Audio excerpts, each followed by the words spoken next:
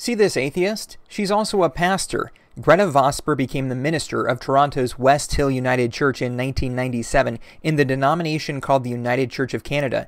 In 2001, she told the congregation that she didn't believe in God, and in 2003, she removed the Lord's Prayer from the church's liturgy.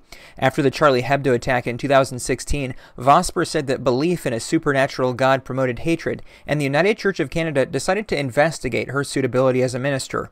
Well, in 2018, they let her off the hook, and she's still the minister at her church today.